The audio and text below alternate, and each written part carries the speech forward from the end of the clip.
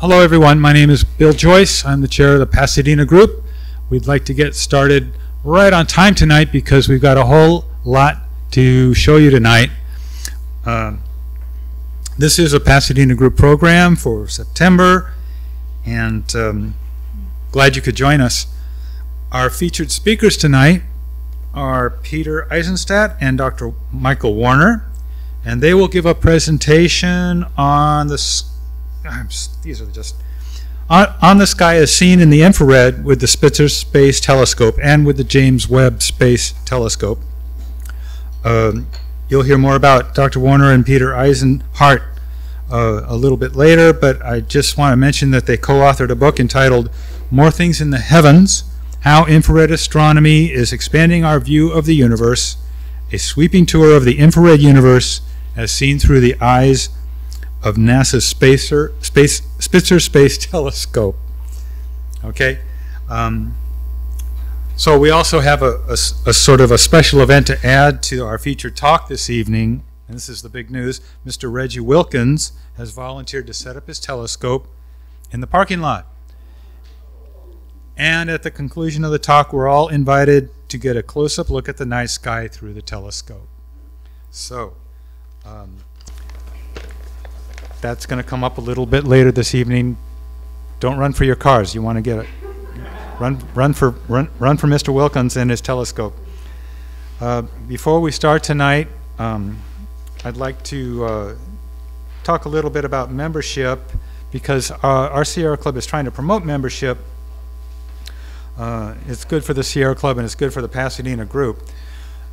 To begin with, um, if I may, I'd like to ask you to, you know, how did you find out about the meeting tonight? Did how many of you, if you could just raise your hands, uh, found out about it by reading about the meeting in our newsletter, the Arroyo View, which is online. It's an online newsletter. Okay. Um, anybody here from uh, one of the astronomy groups? We reached out to some astronomy groups in the San Gabriel Valley and we invited them to come. Okay. Um, what about uh, just uh, through the chapter website, maybe, or you saw it in a newspaper somewhere? Meetup. Meetup. Okay. Thank you for bringing that. Anybody else from Meetup? Oh, okay. Hello to that. Meetup. Okay. Hmm.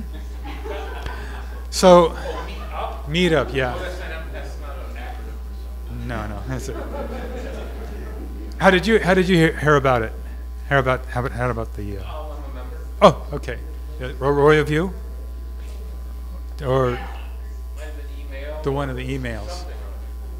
You look familiar. I think you were at our um, our dinner last December. Yes, I was. Uh, I'm, it's good to see you again. Thank you. Um, I'm a big supporter of the Pasadena chapter. yes, you are.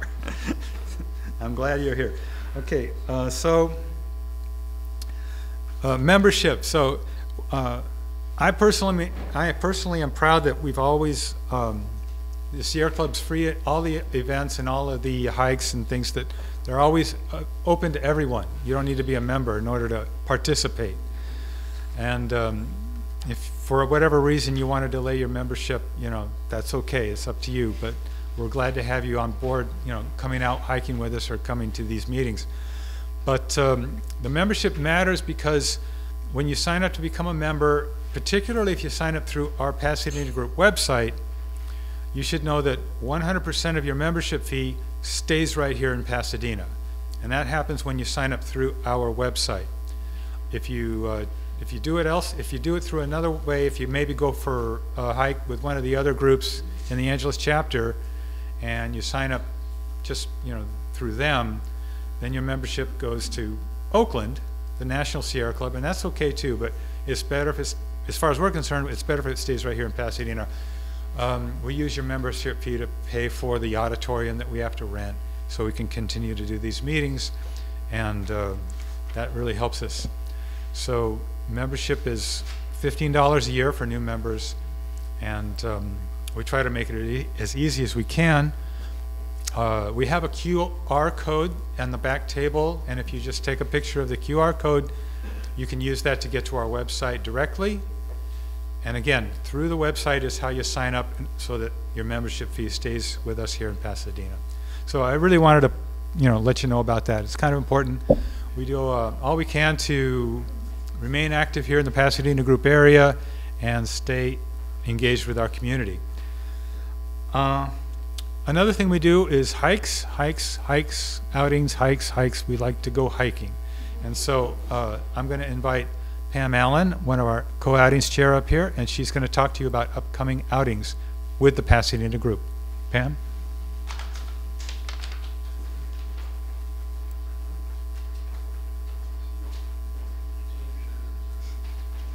Well, I think most of the things that I'm going to mention are not quite as far as what we're going to be speaking about today, which is several million light years in distance. I'm talking about hikes that are anywhere from, say, five to 20 miles, and most of them on a day, most of them on the occasion, are not even 20 miles a day.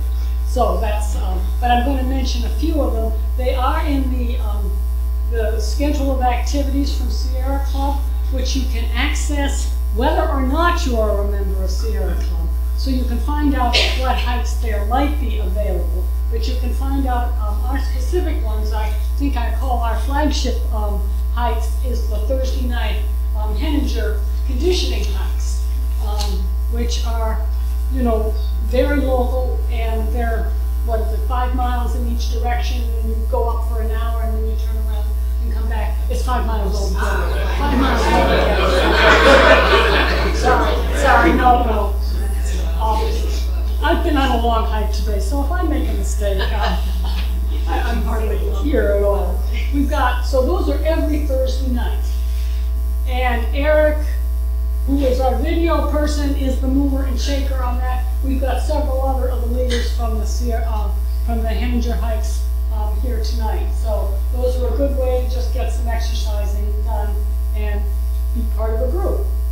Um, coming up um, in the uh, Saturday, September the 18th, I and Greg Coleman, is he here? Yes, over there.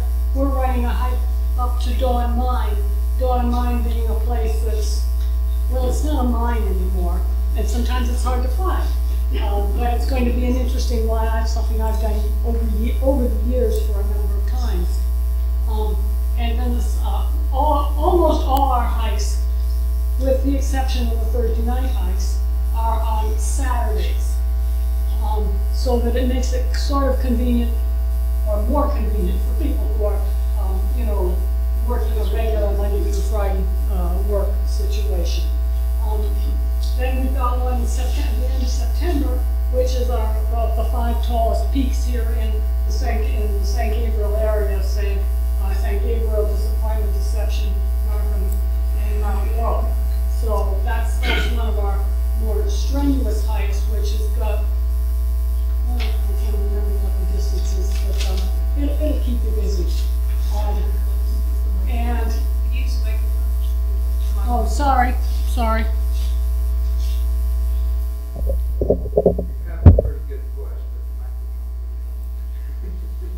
Um, then on October the 28th, we've got a trip to Mount Wilson via the toll road, which is going to be a long distance, and it'll certainly keep you in shape. You can enjoy your ice cream afterwards for that one. Um, and then we said that you had a hike on every Thursday for the Henninger hikes, except one in the next two months.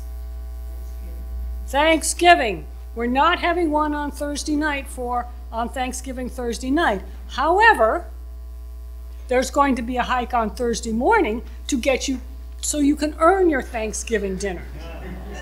So that's that's one, and um, you know our where are you, David? Is our our main mover and shaker on that one. Um, and then we've got programs coming up on the first Wednesday of next month, which is the 1st of October. No, uh, the 4th of October, um, about northeast trees and bringing nature back. And then we've got another one on climate ethics on the 1st of November. So we've got several different programs. I've got a few handouts, but I think most people can probably access this thing better uh, through the Sierra Club um, website. But it's not that I don't want to give them out, but I don't like to throw paper away. Um, So I think I will let, turn it back to Bill, and we can talk about billions of light years.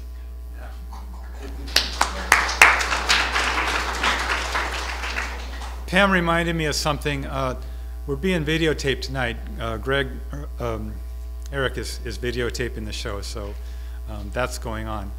And now, uh, oh, George Vine, our co-programs chair, is going to introduce our speakers. George?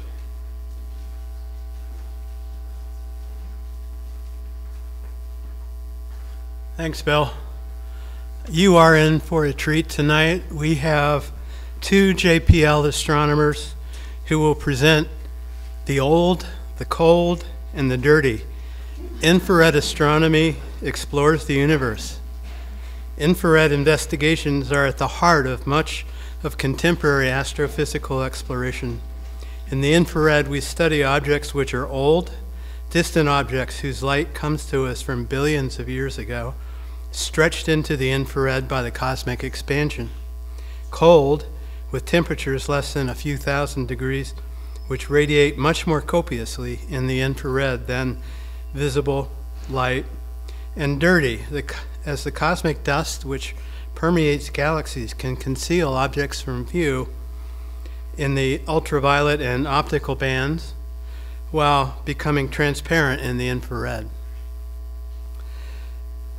Dr. Michael Werner was the project scientist for the Spitzer Space Telescope and also served the, as the chief scientist for astronomy and physics at the Jet Propulsion Laboratory, California Institute of Technology. He has been an active researcher in infrared astronomy for over 50 years, studying star formation, the interstellar medium, central regions of our galaxy, and exoplanets. He has served as Spitzer Project scientist since 1983 and was one of the leaders of the evolution of Spitzer from a shuttle attached payload into the elegant free flying observatory, which operated successfully in an Earth trailing orbit, solar orbit, for over 16 years. Werner was named the 2006 George Darwin Lecturer by the Royal Astronomical Society in recognition of the success of Spitzer and is also the recipient of two NASA Outstanding Leadership Medals and um, the NASA Distinguished Public Service Medal. He graduated from Haverford College in 1963 with a BA in physics and received a PhD in astronomy from Cornell in 1968. He is now an active member of the SPHEREx team working on JPL's newest uh, astrophysics mission, which will obtain spectra in the infrared of the entire sky. Uh, Dr. P- Peter Eisenhardt is also a JPL astronomer, spent a large part of his career on the Spitzer mission. He is currently a senior research scientist and a project scientist for the Wide Field Infrared Survey Explorer at JPL. He has been awarded the NASA Exceptional uh, Achievement Medal, the NASA Exceptional Service Medal, and the JPL Edward Stone Award for Outstanding Research Publication. Peter got his PhD in physics and astronomy from the University of Pennsylvania and his PhD in astronomy from the University of Arizona. Uh, we would ask that you please hold your questions until the end of the presentation. Well, there'll be lots of time for questions and answers then. We just want to make sure that these gentlemen can get through their presentation in the time that we have allotted. Uh, won't you please join me in welcoming Michael and Peter to the club?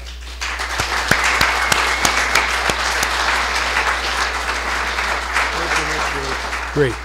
Okay, well, thank you all for coming and to hear Peter and uh, myself talk about our favorite topic, which is the Spitzer Space Telescope and now the James Webb Space Telescope with its worthy successor.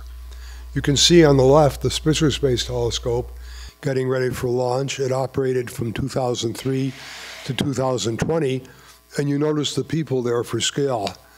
Now, over here is the James Webb Space Telescope, which launched in 2021 and we anticipate going at least as long as Spitzer, so we put the lifetime as 17 years as it was for Spitzer you notice the people in this image who look like Lilliputians, well, those are the same size as the people in the other image, just that the telescope has gotten a lot bigger. And although the results from, from James Webb are only starting to come in, it's going to be a fantastic uh, scientific mission, successor both to Spitzer and to the Hubble Space Telescope. Um, we start out by uh, our book uh, that was mentioned. We have a couple copies in the back and also some Spitzer swag that's being a NASA mission. You can all get a pin, which is uh, commemorating the TRAPPIST planetary system, which I'll talk about in a bit. I'm talking about investigations within our galaxy focusing on the formation of stars and planetary systems. I'll also give you a bit of a tutorial about infrared astronomy, and then Peter will pick up and talk about the galaxies, the distant universe, cosmology, and all the wonderful things we're learning about our distant uh, origins. On the right, you can see what are called the Great Observatories, which is a family of observatories that NASA started uh, uh, publicizing in around 1985. And they cover the entire electromagnetic spectrum, which is shown here, from the gamma rays at the extreme left to the infrared at the extreme right. And we now know that all parts of the spectrum are necessary to get a true understanding of the astrophysical universe, not to mention radio waves, neutrinos, and cosmic rays, and a few other things. Gravitational waves now. Um, you can see that in the middle, in the spectrum, that most of the light in these spectral bands doesn't get to the Earth. It's blocked by the atmosphere, which is a good thing for us, but that's why a lot of this work is being done from space. Even in the infrared, where Spitzer and JW operate, uh, the atmosphere is often quite uh, opaque or, or cloudy due to water vapor. And the other thing you see here is a temperature scale. Every object in the universe at any temperature radiates radiation, electromagnetic radiation, consistent with its temperature. The colder it gets, the longer the wavelength of the radiation. And you may have heard infrared radiation or infralight, infrared light being described as heat because we perceive the light from an infrared lamp as heat as it strikes our body. Spitzer is uh, exploring objects with temperatures between about a few thousand degrees, which is the coolest stars, and a few tens of degrees, which is material in the space between the stars and everything in between, as well as studying other objects which are also studied in other spectral bands. So let's get started. You might say, uh, how different do things look in the infrared? And here I have a picture of Rusty the dog in the infrared and in the visible. You can see he looks rather different in the two images. In the visible, what we're seeing is light from the room or the sun reflected from um, Rusty. But since Rusty's at a temperature of about 300 degrees Kelvin, like you and me, or 95 degrees Fahrenheit, whatever, uh, he radiates infrared radiation. And in the infrared picture on the left, what we're seeing is the radiation from Rusty. If we turn the lights off, we couldn't see Rusty in the visible, but look just the same in the infrared. And you can see that um, as a temperature scale, which is linked to the image of Rusty, at the places where his, um, where you're looking closer to his blood supply, closer to his heart, like his mouth and his eyes and the insides of his ears, he's hotter. Whereas in places where the um, uh, fur is thickest, he's coldest. That's all easily understood. And since Rusty is a proper dog, he has a cold nose. Now, if, if a uh, thing as simple as a dog looks that different in the visible and the infrared, you can imagine the things in the heavens do as well. So let me start by talking about the old, the cold, and the dirty, which is not the name of an unreleased Clint Eastwood movie, but is in fact uh, our slogan for the things we study uniquely in the infrared part of the spectrum.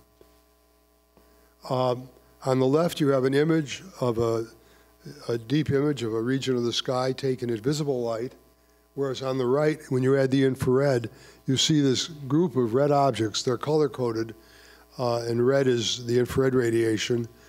uh, which is a distant group of galaxies. It's called a cluster of galaxies, more than halfway across the universe. And we call that old because the light that we're seeing left these galaxies eight or 10 billion years ago to come to be detected by Spitzer. I should say that all the images, uh, many of the images I show you will be in the infrared, similarly with Peter. They're all things you couldn't see with your eyes, but we have no shame about color coding them, generally in a way where the longest wavelength of the coolest material is red and the warmest material is blue. The reason we do that is you would not be very impressed if I showed you a series of ones and zeros.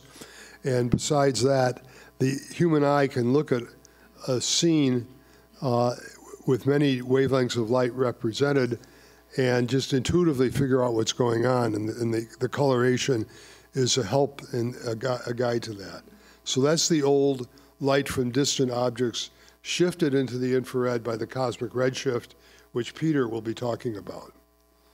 Next comes the cold. This is an object which is the uh, called the Helix Nebula. It's what's called the planetary nebula, which is a shell of gas ejected from a solar-type star in the later stages of its life.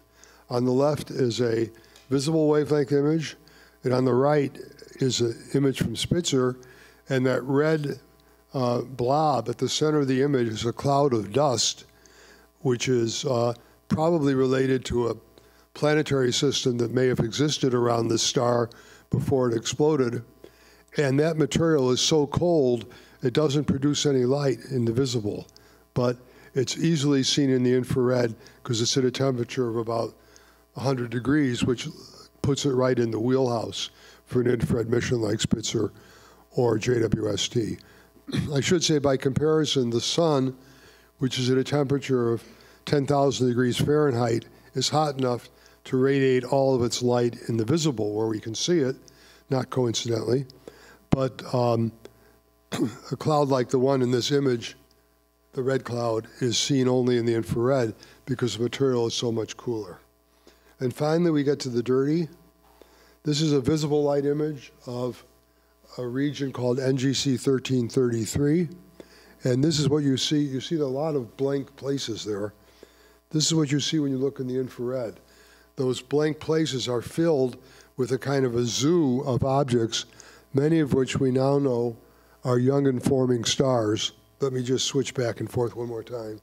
Visible light, the infrared light. And um, all these objects are too cold or too hidden by dust to be seen in visible light, but can readily be seen in the more penetrating infrared light. In other instances, uh, dust will absorb visible light and re-radiate it in the infrared, as was mentioned earlier. And the red color up on the left is due to a, in the infrared image, a class of molecules which are hydrocarbon molecules, and their spectrum. Spectrum is light as a function of wavelength, which is a way of, uh, like a rainbow, but more finely divided perhaps, of finding out what something is made of. And the cartoon or the drawing on the upper right is the spectrum of the emission from these hydrocarbon molecules, which happens to be bright at the wavelength around eight microns where that image was, that reddish image was taken. This, this image is a montage of images at different wavelengths taken by the IRAC instrument for which Peter, that's one of Spitzer's three instruments, for which Peter was the uh, uh, instrument scientist. So let's move ahead now, and, and, we now understand that infrared radiation is heat radiation. It does unique things. So why can't we just do it from the ground? Well, the reason for that, apart from the crappy transmission of the atmosphere, is that everything on the ground is really warm and produces a lot of infrared radiation. So if you're trying to look at a distant star through a telescope which is warm and an atmosphere which is warm, you'll get swamped by the infrared radiation of these objects in the foreground and not be able to see a faint object uh, in space. And that's kind of illustrated here. This is a picture of the Palomar telescope. During the day, the dome is closed and the astronomers are asleep. And it opens up at night because the sky gets dark.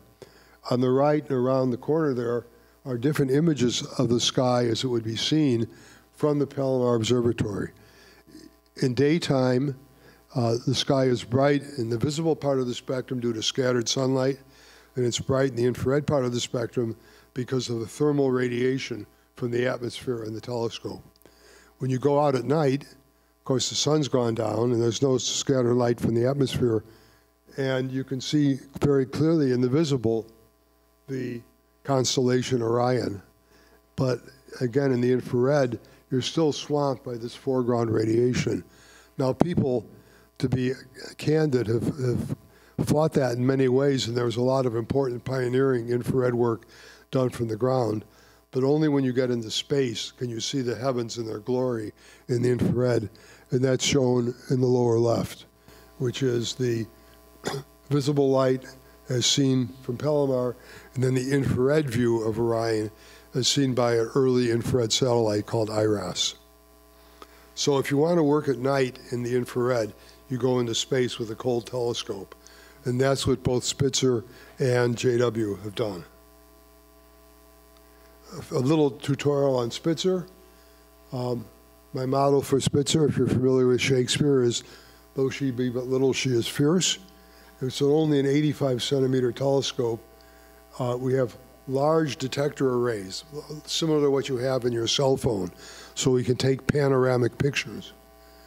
Um, Spitzer, although it's only 85 centimeter, is more sensitive than a 10 meter telescope on the ground. And it was named for Princeton astrophysicist Lyman Spitzer. Uh, we launched in 2003. We just celebrated the 20th anniversary of the launch, and we retired in January. We were retired in January of 2020. The reason is shown here on the right, where that's a picture of the orbit of Spitzer as it would appear if you were sitting above the North Pole of the Earth. So you're on sitting on the Earth, watching Spitzer go around the sun, watching the Earth go around the sun, and then Spitzer was launched from the Earth into an orbit not around the Earth but around the sun. And the reason we wanted to do that is because the Earth is pretty hot, and it's a big source of infrared radiation and heat, and we wanted to be in a colder place, and so we went into deep space. And as we got further and further away with time, communication got more and more difficult, which is basically why we were retired in 2020. People who are engineers are interested in more detail, we used in Spitzer not just Spitzer, the telescope itself was cooled to a few degrees above absolute zero to totally omit, eliminate its infrared radiation. And we kept it at that temperature for 17 years, even though we ran out of liquid helium, by using what's called radiative cooling, where we cool by radiating uh, uh, energy into space. And that technique was adopted by James Webb. So that's Spitzer in a nutshell. James Webb in another nutshell. It's about a six and a half meter diameter telescope, 50 times the collecting area of Spitzer. Uh, it is a very complex structure which unfolded flawlessly on orbit. We expect at least a 10 year mission. It's a huge gain over previous missions, over Hubble in the visible and the near infrared, the shorter infrared wavelengths, and over Spitzer in the longer infrared wavelengths. It's an international mission with major contributions from the European Space Agency and the Canadian Space Agency, and the early results are spectacular. And James Webb is in an interesting orbit, which is now being adopted by most astronomical missions that can afford it, which is called an L2 orbit. So James Webb, the L2 uh, Lagrangian point, it's called, is a place in space uh, on the behind the Earth relative to the Sun. So here's the Sun, here's the Earth, here's the L2 position, as you can see there. And that L2, uh, thing orbiting at L2 is stable uh, as, as the whole system goes around. So you can put a spacecraft there and it will stay there. Maybe some station keeping has to be done more or less indefinitely. And so that's the, because of the fact that the Earth and the Sun are on the same side of the spacecraft, you never have to worry about the Earth getting in the way of your observations. You get great viewing of the sky. And that's the preferred place now for the astronomical observatories of the future, uh, starting with James Webb. Okay, so I'll start up talking about star formation and exoplanets. Uh, fact for you to remember is that stars are forming in our galaxy today, not one a day, but a few a year. And uh, similarly, planetary systems, which we now know are very common around stars like the sun, are forming with equal frequency. This cartoon on the right shows schematically the steps eh, under which a star forms. So you start with a cloud of interstellar material, material which is between the stars, and if it becomes massive enough, it will start to collapse under gravity. That's the top picture. As it collapses, because of what's called conservation of angular momentum or spin, a disk tends to form, and that disk eventually will grow into a solar system. And at the same time, you get these winds from the central uh, forming protostars. So in these pictures, the visible light is shown in blue, and the infrared light is shown in red. So for this stage, I'm talking about what's called class one. There's still a lot more infrared light than visible light because the dust is absorbing the light from the star and re-radiating in the infrared. Those winds are important in the evolution of the young star, and I'll show you a very spectacular example of them in just a couple minutes.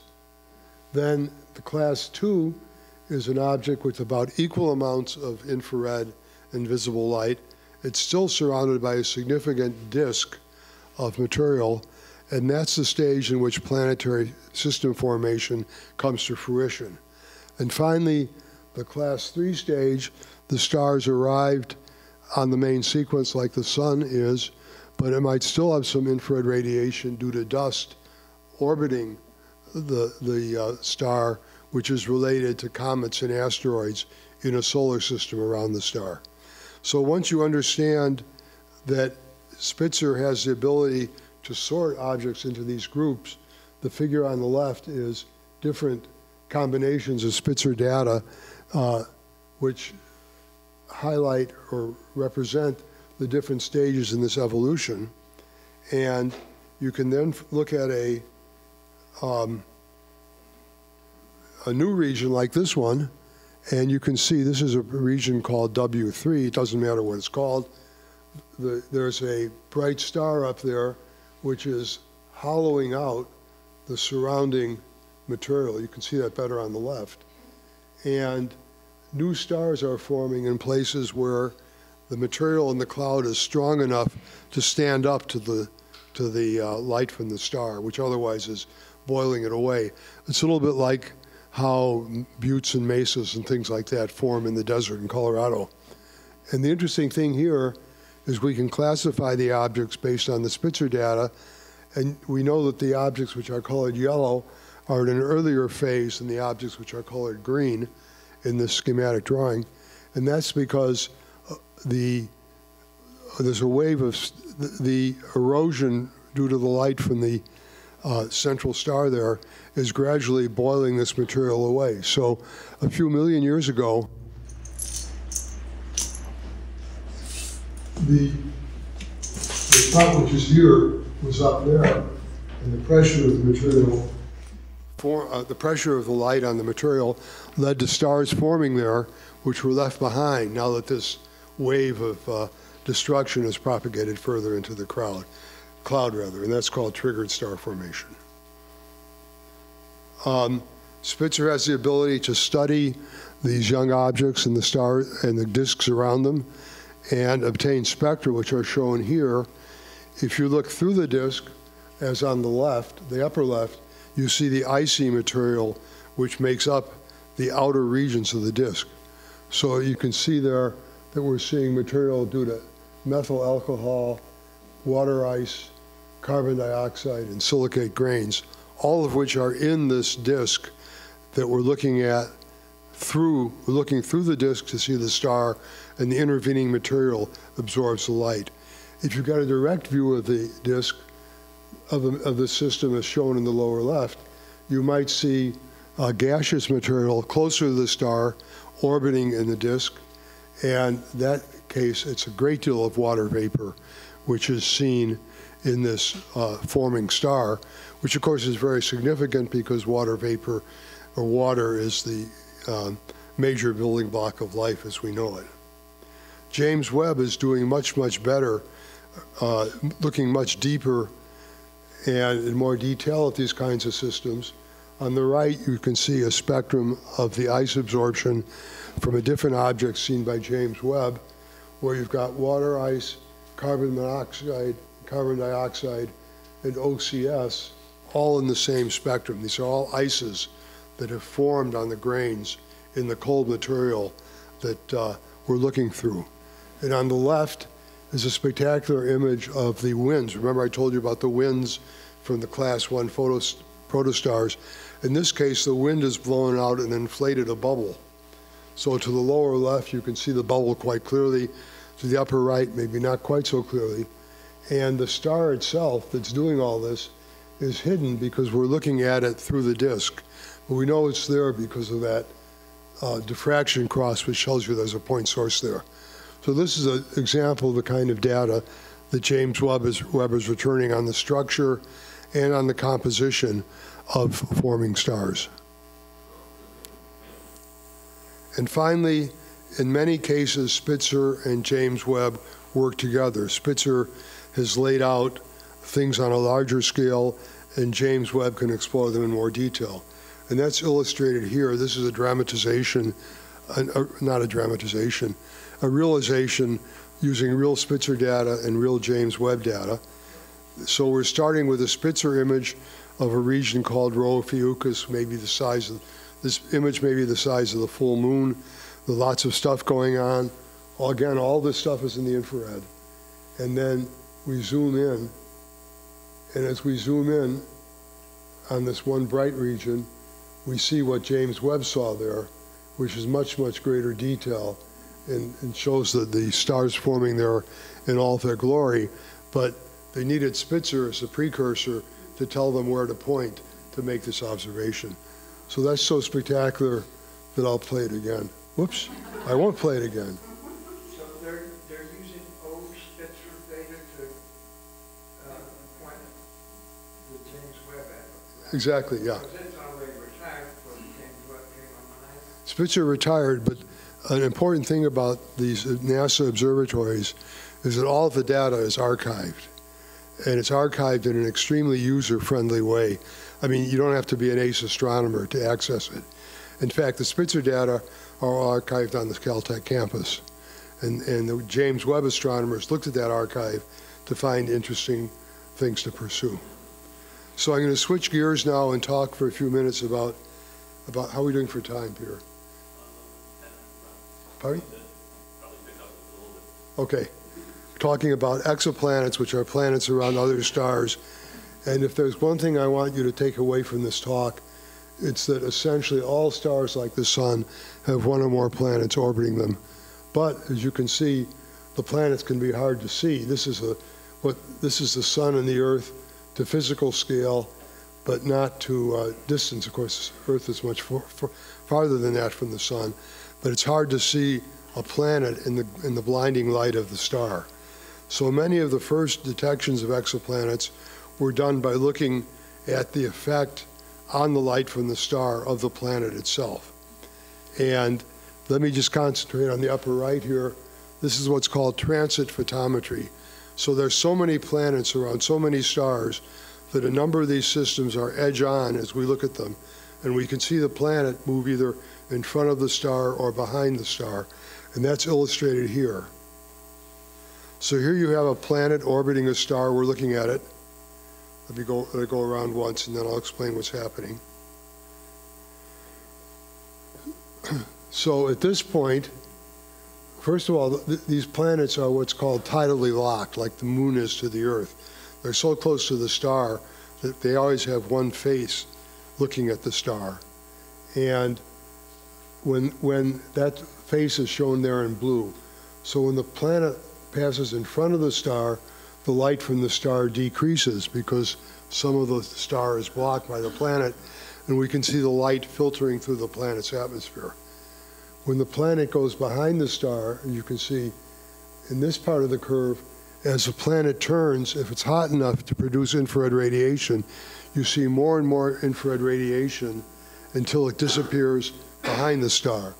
And the um, amount by which the light drops when it disappears tells you how much infrared radiation you're getting from the planet.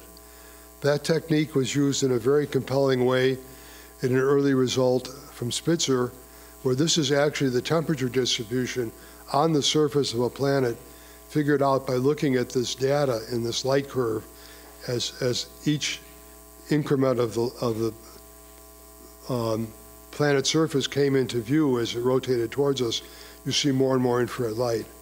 This is a notional temperature map of the temperature of the surface of a planet which you can't even see. It's quite amazing that people are able to do this. And it's a testimony, of course, to Spitzer that uh, technically was able to do so. And the interesting thing about this is that the, where the two arrows intersect is the center of the planet, and you might think that would be hottest, but in fact, the hottest region is a little off to one side, and we attribute that to winds, which are carrying the light of the star around the surface of the planet. So I'll skip over the next two charts, which just show how James Webb is determining the composition of planetary atmospheres, exoplanetary atmospheres, by using one or the other of these techniques, and get to our famous trip, TRAPPIST result. So this was Spitzer's most notable uh, result. It got us above the fold on the New York Times. It got us a Google Doodle, which is really the ultimate form of, uh, of uh, praise. And what it was on the left, Spitzer was able to observe this system called TRAPPIST-1, which was known from some Earth-based observations to have interesting and pulsing properties consecutively for 20 days. And as it did so, it saw a number of times when the light from the planet dropped, and these were attributed to a number of light from the star dropped due to different planets sequentially crossing in front of it. And when all of this was decoded, we found out that there are seven planets about the size of the Earth, all transiting this faint red star, which is called Transit 1, TRAPPIST 1. Seven planets which are squeezed right in, nestling up to the star, much closer to that star than Mercury is to the Sun, because this star is a pretty puny star. And if you look, if you look at this in more detail, you can see that water vapor might be in liquid form on the two or three planets in the middle. Uh, and this is a prime target for the study with James Webb to see if we can find uh, biologically interesting molecules or even atmospheres on these planets. Um, this, these are the uh, planetary observations planned for JW before launch. What's plotted is the mass of the planet versus the temperature. So the Earth is right in this region here. One mass of the Earth, uh, 300 degrees, and planets in that region of this chart are of particular interest, most of which are in fact planets orbiting the TRAPPIST star. So here is an uh, observation from James Webb of the thermal emission from one of these planets, which is about the size and the temperature of Venus. So we're, we're hoping that it would have an atmosphere like Venus, in which case this curve would look like that. But when it was detected, it was much hotter than expected from that model because there was no atmosphere to block the light from coming to us.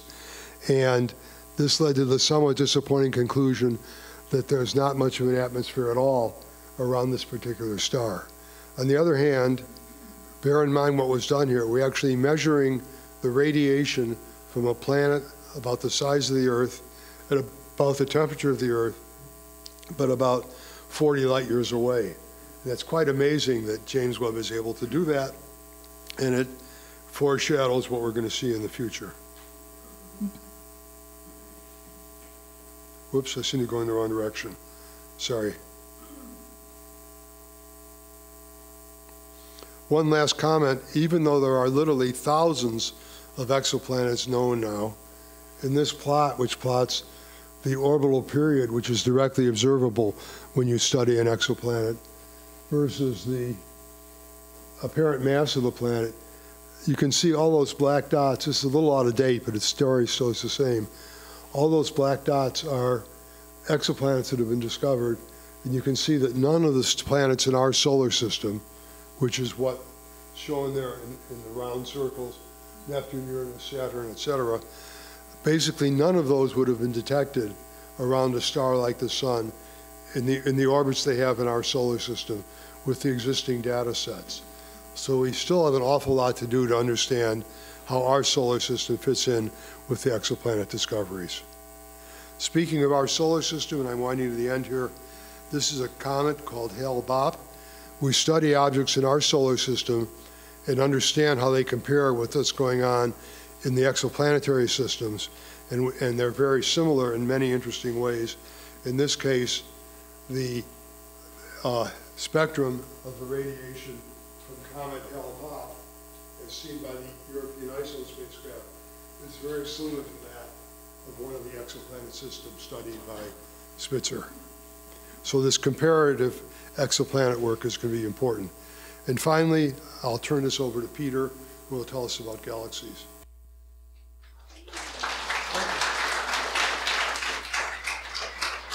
Thanks, Mike. I'm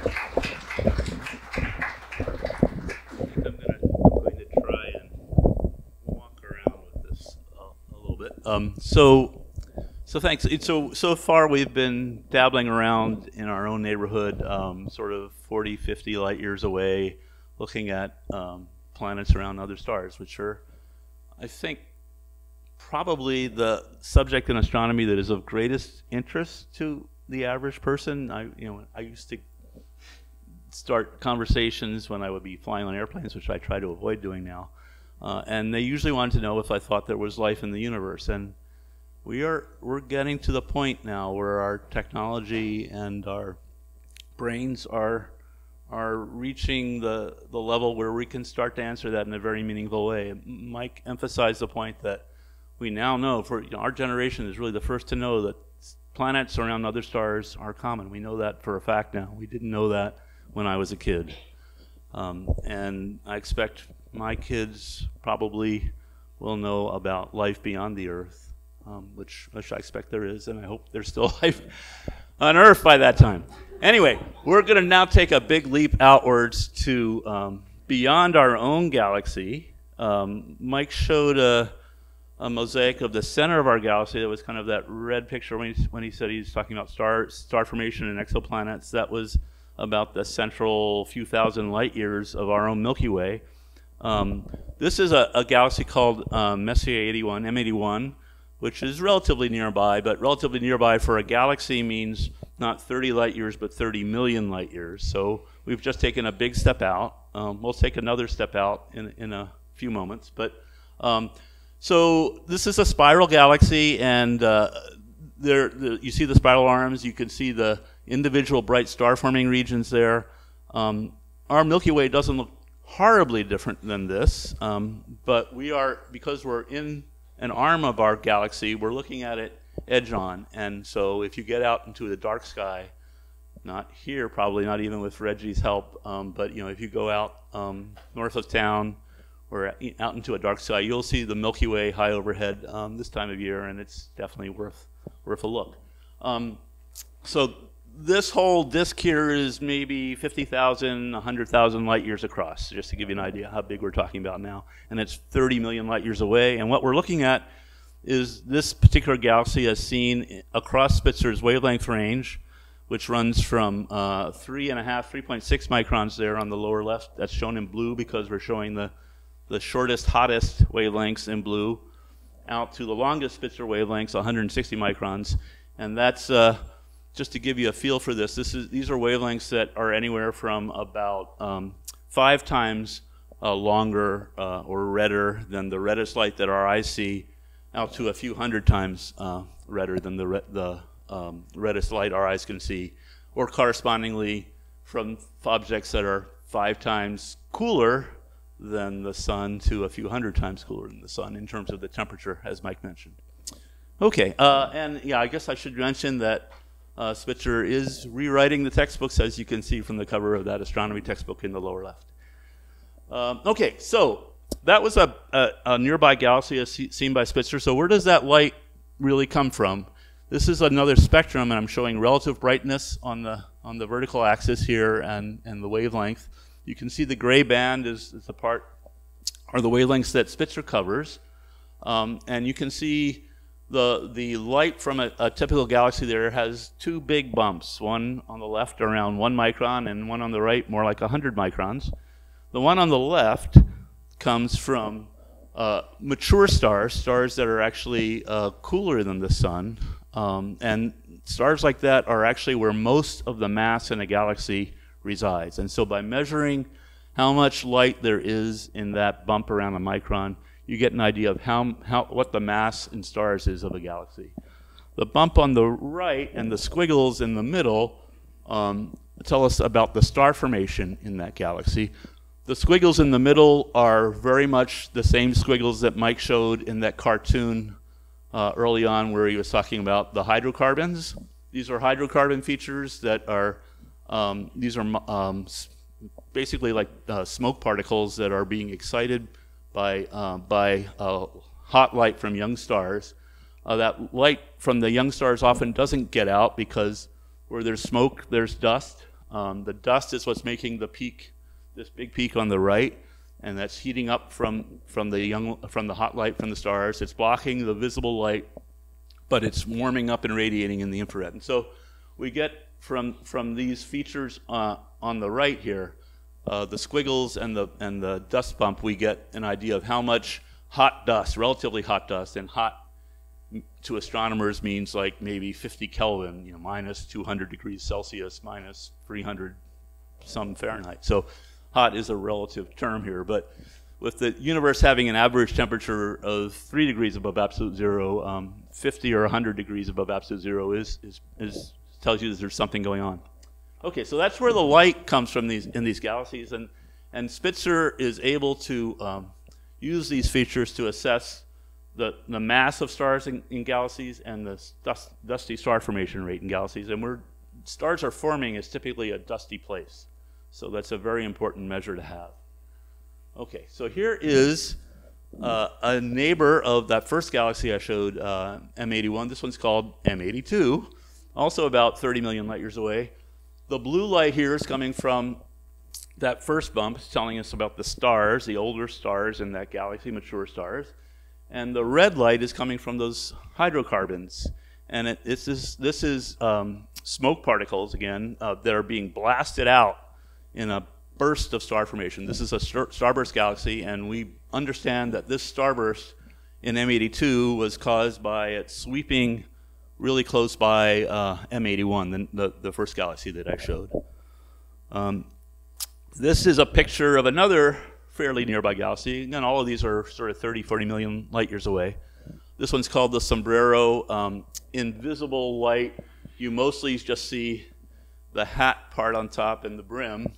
Um, but in the infrared, all of the, the blue light here uh, comes through um, without being blocked by any of the dust. That, that's, those are the older stars, and you've got a big fuzzy elliptical galaxy. We call these sort of round fuzzy galaxies elliptical galaxies. And then in red, in those hydrocarbons again, we've got kind of a, a more spirally galaxy, and it's almost like you have two different galaxies that are happily cohabitating. Uh, so you get a, real, a, really different view of, of uh, the universe when you, when you look in the infrared.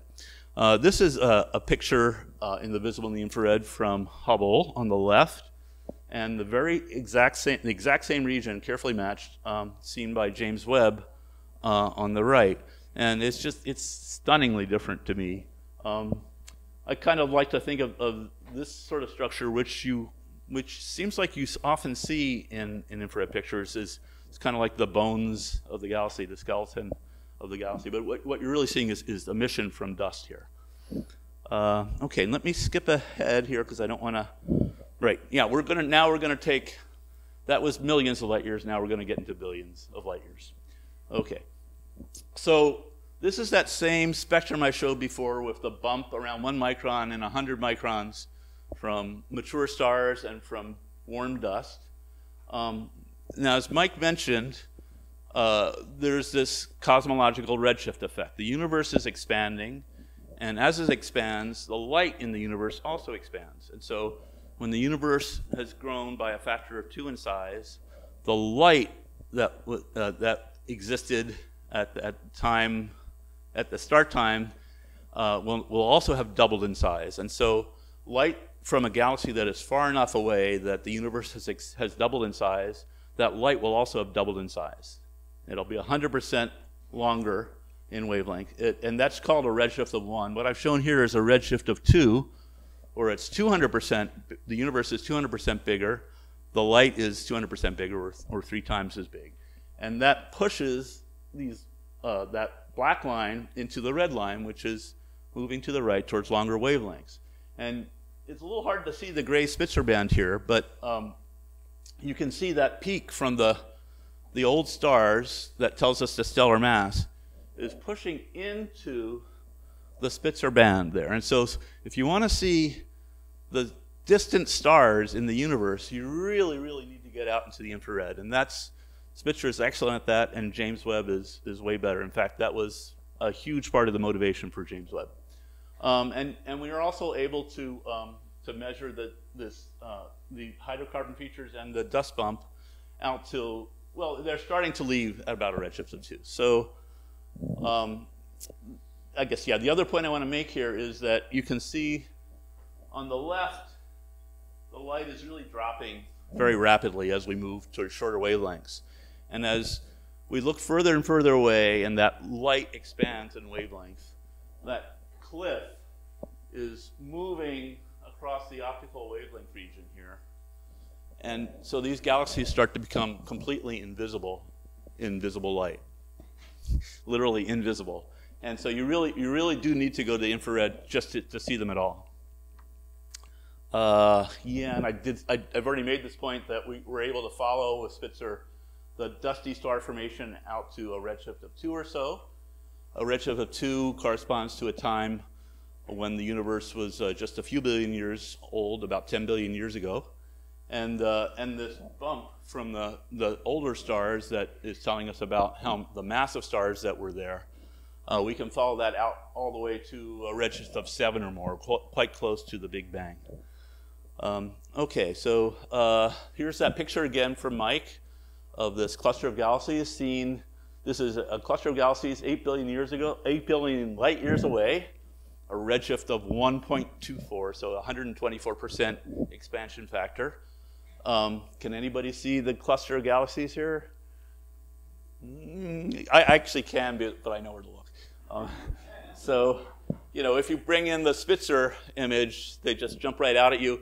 And to really emphasize that point, this image on the left took about an hour with a pretty beefy telescope, a 150 inch uh, diameter telescope, whereas this image on the right took 90 seconds with the Spitzer telescope, which is about this big, about less than a meter in diameter. Uh, yeah, I guess it's 30, 32 inches, I think. Hula hoop size. Um, okay, so so uh, that tells you that uh, infrared is uh, space infrared is what you need if you want if you want to see these distant galaxies. Okay, so now we're going to talk a little bit about the history of the universe, which Spitzer has done uh, a really major job of, of helping us understand. And so this is the history of the universe in one slide. Uh, 13.7 billion years ago, uh, the, everything was in the same place, and there was this incredible expansion, the Big Bang. The universe was hot uh, and dense, and it expanded very rapidly. Um, eventually, after almost 400,000 years, it cooled to the point where um, atoms could could become neutral. Uh, protons and electrons could stick together and make hydrogen, and that's that's you see that marked at the top there. Um, let's see. Uh, yeah, as I said, as, and Mike has said, the light is expanding along with the universe. Okay, and so I've, I've got a scale bar here which shows two things. It shows redshift on the top, and it shows time since the Big Bang on the bottom. Okay, so here on today, we're, we're at redshift zero. The universe is the size that it is today, so there, it's not bigger or smaller, it's just the size it is. Um, it was 10% smaller here at a redshift of 1. It was half the size, I'm sorry, redshift of 0.1, half the size at a redshift of 1, a third the size at a redshift of 2, 200% smaller. six times, uh, 600% smaller, one seventh the size at redshift 6, and so on. And then to get back to this time when hydrogen was forming, we have to go all the way back to a redshift of 1,000. The universe was 1,000 times more compact at that time. In terms of time, uh, we have to look back actually over a billion years even, even to get a 10% expansion of the universe. Um, by the time we get to a redshift of 1, which is similar to what I was showing with that cluster of galaxies, we're looking back 6 billion years, I'm sorry, 13.7 minus 6 years, so 7.7 billion years back. So I said that cluster of galaxies is about 8 billion light years away. It's taken 8 billion years for the light to expand uh, by a redshift factor of 1.24. So what this means is that by measuring the redshift, we can measure the distant past. This is, again, the old point that Mike was making at the, at the start, and, and George was making as well in his introduction.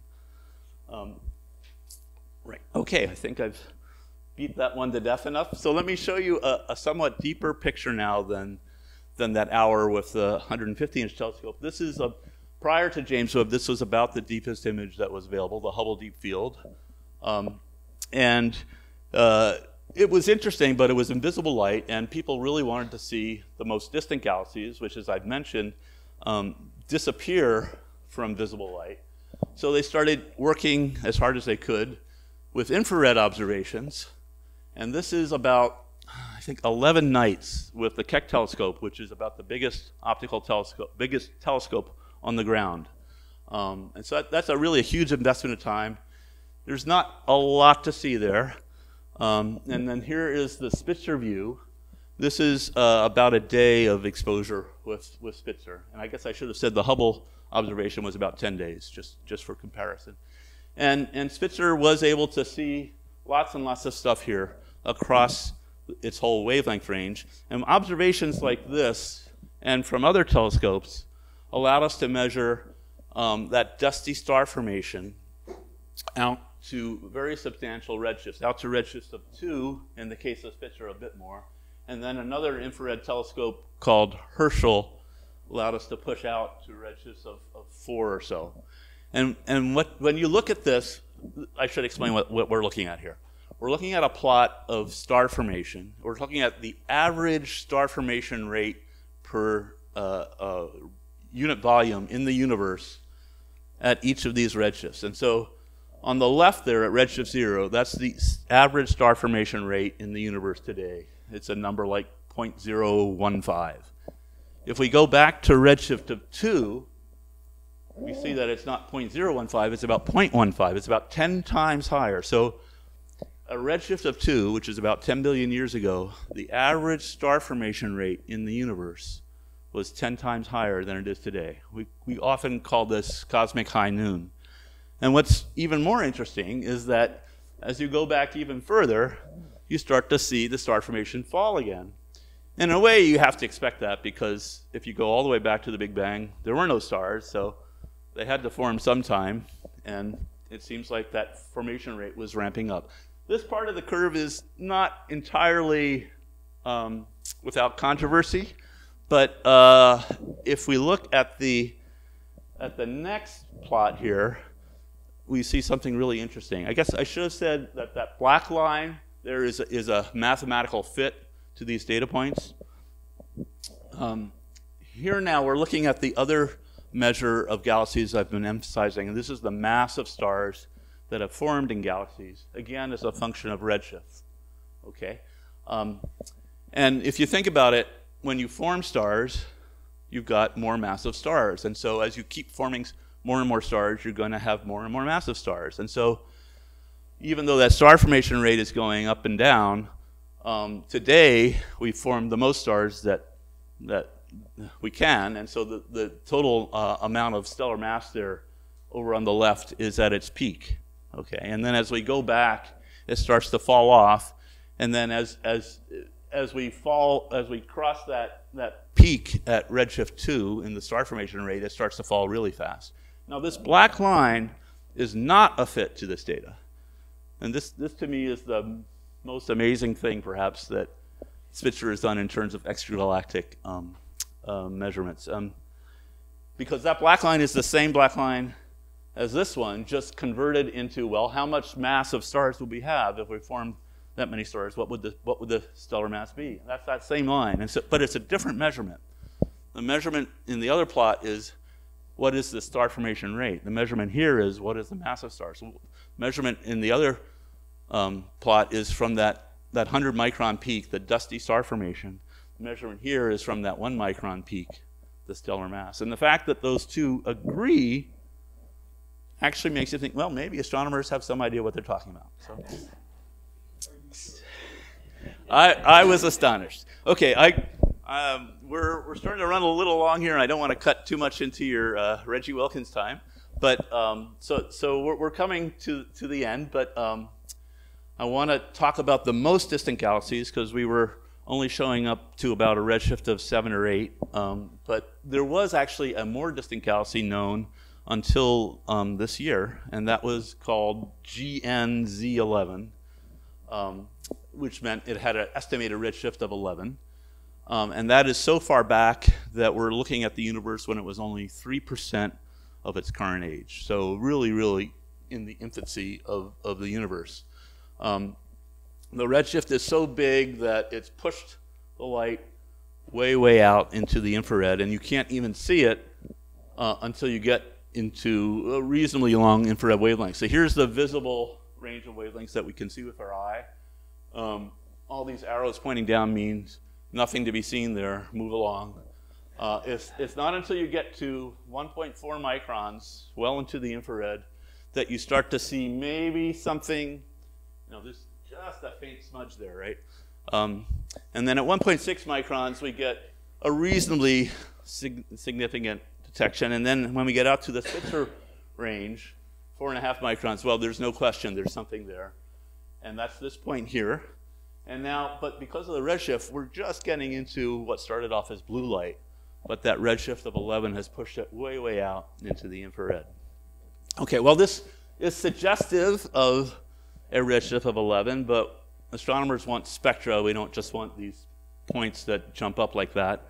Um, so uh, with Hubble, um, they spent a day and a half trying to get a spectrum of this galaxy, and that's the result. It's not that impressive, but it's consistent with a redshift of 11. In fact, the best estimate was a redshift of 11.09. And then this year, James Webb took a spectrum, a several hour spectrum, and that's shown here. And there's really no question about the redshift for this object. So you know, it almost looks fake the, the way the light drops there on the left over here. Um, but that's, that's that edge in light that um, gets pushed into the infrared, and, and that's, that's the signature that astronomers uh, use to identify very distant galaxies. So no light at all gets through at the shortest wavelengths, and then it just switches on as uh, hydrogen starts to let it through.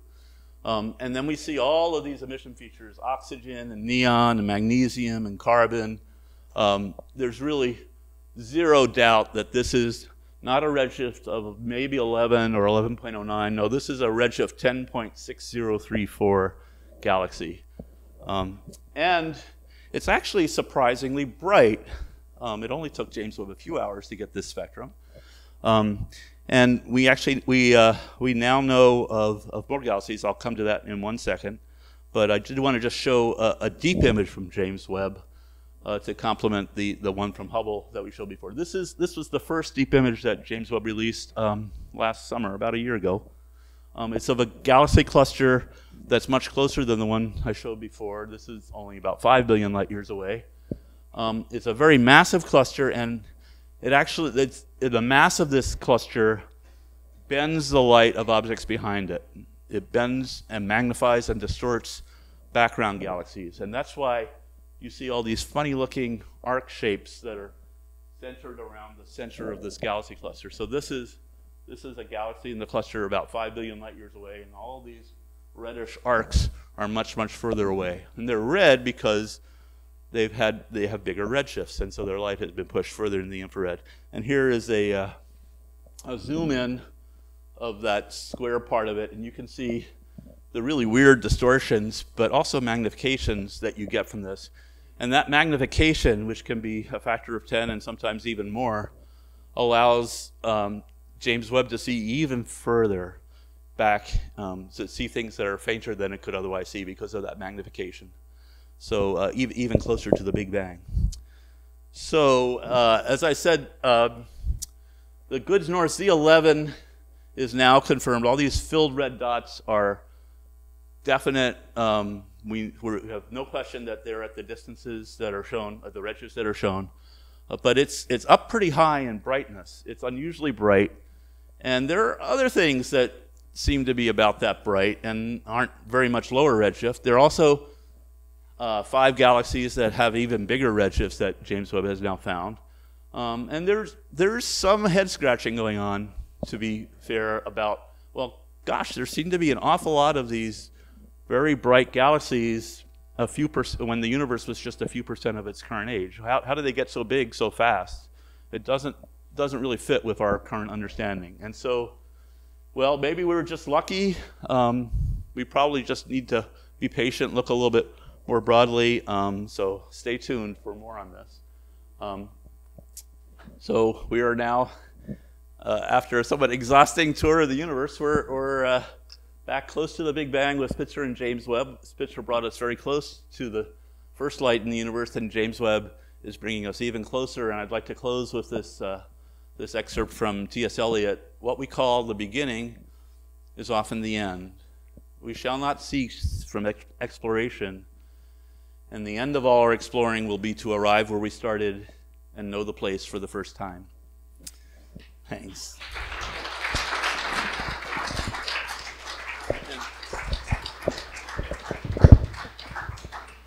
Um, I, I imagine there are some questions here, and uh, but I also want to remind you that Reggie Wilkins is outside with his telescope. So uh, um, happy that Mike and I are happy to answer questions for. The question is whether we can someday see solar system analogs with the James Webb.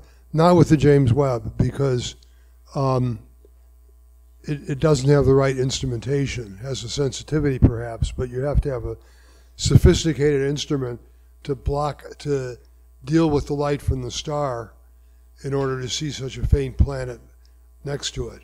But there is another mission coming up called the Habitable Worlds Observer, which may be uh, launching in 2040 something, which is has its, one of its prime objectives is in fact to look around all the stars close to the sun for uh, terrestrial type components, and it has a specialized instrument which will make that uh, feasible.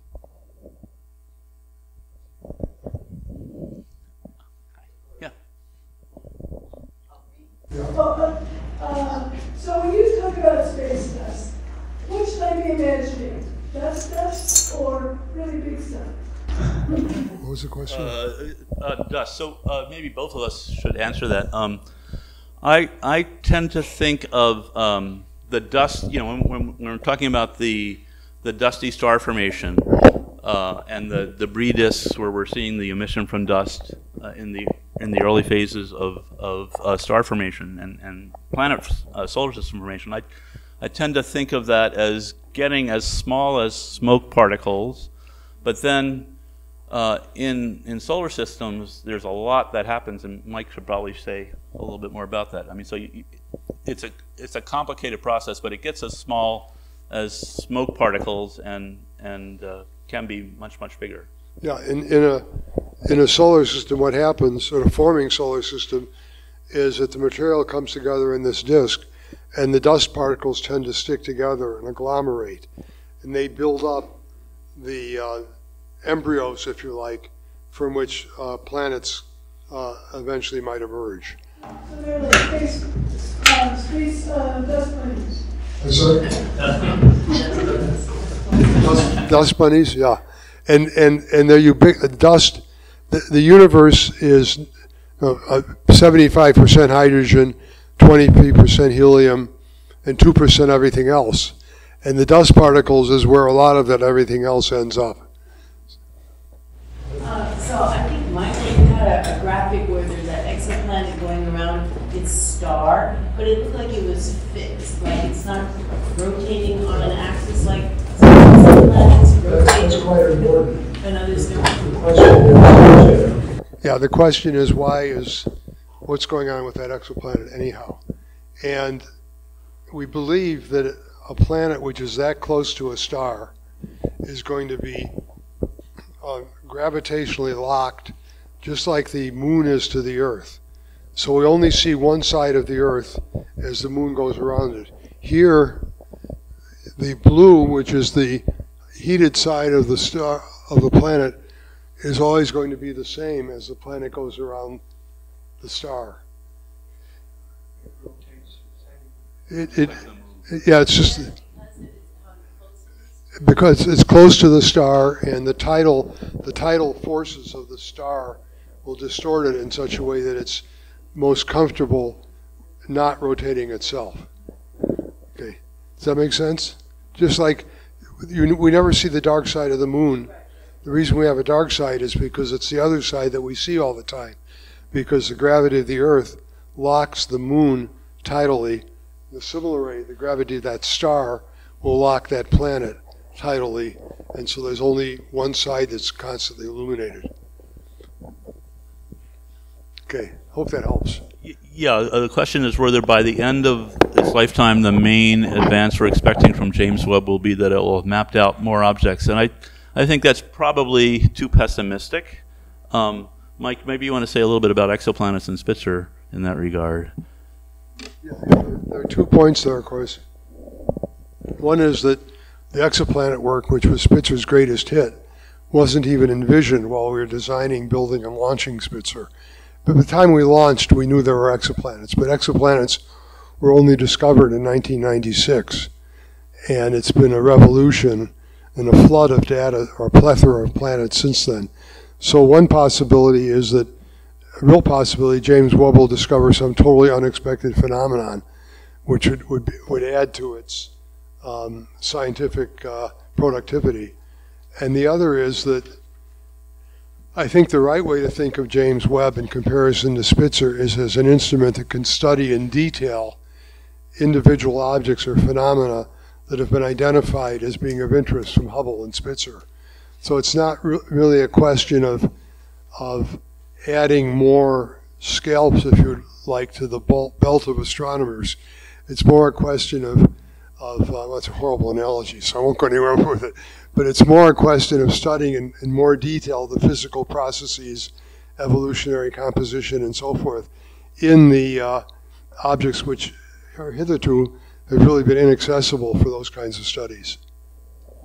Yeah, I can give one specific example of uh, a very high priority project for, for James Webb, which is to understand how we got from this phase when we had just neutral hydrogen. I'm not sure if that's the building or. Okay. Ah, okay. Um, to get from the state when neutral hydrogen formed at, at a redshift of 1,000 to the state of the universe today, and actually going back to redshift of 6. But at redshift of a 6, neutral hydrogen has all been ionized again. So today, all the hydrogen in the universe is, once again, electrons and protons flying around. There's very little neutral hydrogen in the universe today. And so that process where we went from neutral hydrogen back to ionized hydrogen is called reionization and understanding what caused that process, how it happened, that's a major goal. It's a, basically a phase change in the universe, and that's a major goal for James Webb to understand. So you're you're asking about artificial intelligence?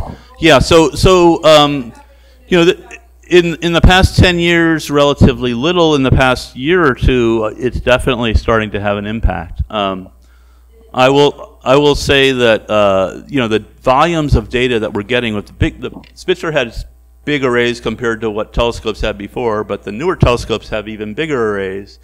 Uh, and so there's just, you know, it used to be that a megabyte was a lot of data, used to be then a gigabyte, then a terabyte, but now we're talking about petabytes. I mean, just too much data for people really to to analyze effectively, and so even to look at. And so one of the things that's starting to happen is we're saying, well, gosh, you know, these are interesting kind of things in this measly one terabyte of data.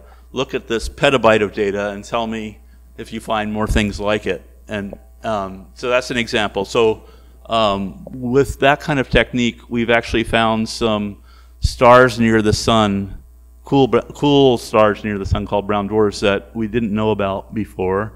Um, and I and I think that's just the tip of the iceberg. I think I think there there's a, a, a very large um, opportunity there. Um, and the, the scary thing to me is, you know, I'm, I'm on a paper where we, we talk about some of these nearby brown dwarfs that we found with this machine learning, we call it.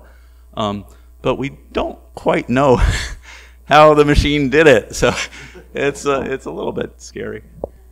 Last, last question. Uh, we're, we'd be glad to take, you know, conversations on this. What is there right now, about five or six thousand exoplanets? Yeah, five, was about five thousand identified exoplanets. Five thousand. Sorry. Five, five thousand identified exoplanets. Okay, well, thank you all very, very much. It's really wonderful to be here.